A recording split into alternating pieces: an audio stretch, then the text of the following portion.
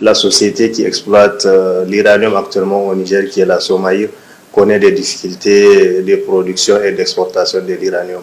Ces difficultés, il faut le dire, euh, elles sont dues au fait de, l'embargo, premièrement, qui a été mis par les États de la CDAO et de l'IMOA au Niger. Parce que vous, savez que pour produire de l'uranium, donc la société arrive a besoin de certains réactifs, notamment le bicarbonate et autres, donc qui sont euh, acheminés vers le Niger via les ports de Cotonou. Et aussi l'exportation aussi de l'uranium se fait à travers les ports de Cotonou. Or, le port de Cotonou a été fermé pour le Niger, pour les activités qui proviennent du Niger. Euh, c'est essentiellement le port que Areva utilise pour exporter l'uranium et pour aussi importer certains réactifs.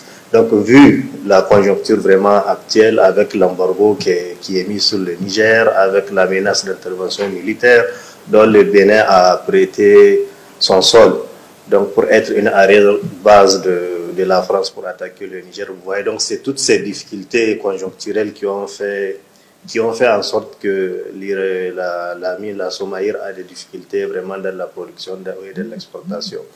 En matière de ressources naturelles ou d'exploitation des ressources naturelles, il faut d'abord faire un paradigme. Qu'est-ce que nous-mêmes on veut dans les pays qui ont profité ou qui profitent de l'exploitation de leurs ressources naturelles? Il y a une première question que les dirigeants se posent bien sûr qu'ils posent aussi aux autres citoyens pour avoir leurs avis. Donc on a une ressource naturelle, notre uranium, qu'est-ce qu'on veut faire de notre uranium? Nous-mêmes au Niger d'abord, c'était le premier paradigme qu'il fallait poser.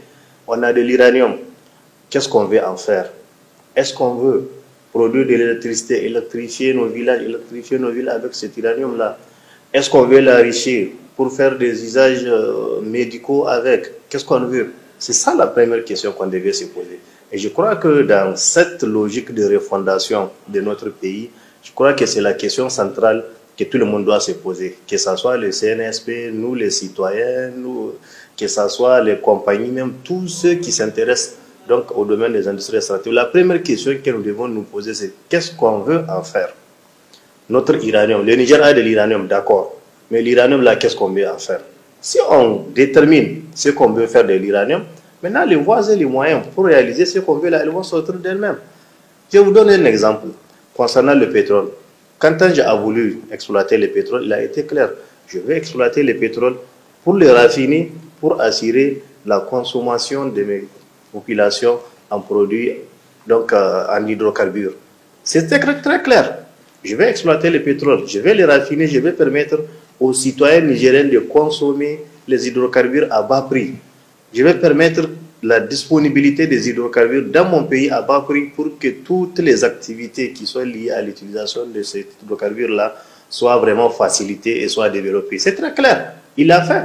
Et il s'est donné les moyens et il a trouvé les partenaires qui l'ont accompagné pour le faire, notamment la Chine, qui a exploité, qui a construit une raffinerie et qui a permis la disponibilité de ces produits-là donc sur le marché nigérien. Même l'uranium, c'est la même chose. Même si vous avez le diamant, tout ce que vous avez là, d'abord, c'est qu'est-ce que vous voulez en faire?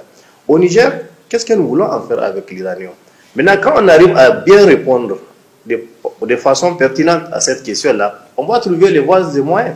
Maintenant, qu'est-ce qu'il faut en faire? Si nous disons, par exemple, c'est un exemple que je donne, on veut que l'uranium du Niger soit exploité et traité pour produire de l'électricité aux ménages nigériens ou bien pour produire de l'électricité aux Nigériens tout court.